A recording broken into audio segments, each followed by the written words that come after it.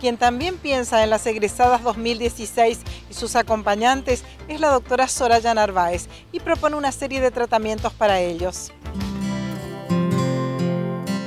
Y la egresada en general es una persona que está muy linda, es una chica joven, pero que puede mejorar mucho su piel. Uno busca mucho el maquillaje, busca el peinado y en realidad una buena limpieza en la piel, un buen facial o una microdermabrasión que es un poquitito más que una limpieza, es un peeling muy suave que se puede realizar en esta temporada con alguna máscara para hidratar la piel va a hacer que realmente el maquillaje esté mucho más lindo y que dure, que dure mucho más esta noche. Eh, las mamás y los papás que quieren presentarse, que quieren quitar líneas de expresión, las arrugas, las patas de gallo, el ceño, quieren mejorar calidad de piel, por ahí las arrugas peribucales, los surcos que se van marcando, esa pérdida de contorno que se da en el cuello, el cuello que se va ensanchando, la papada que se va formando, existen técnicas que pueden mejorar y muchísimo esto. Y bueno, ni hablar de lo corporal, en realidad nadie escapa o mucha gente por ahí necesita quitar un rollo, un salvavidas, mejorar la piel, la piel de la espalda, hoy se usan vestidos que muestran mucho la espalda también, así que un buen peeling,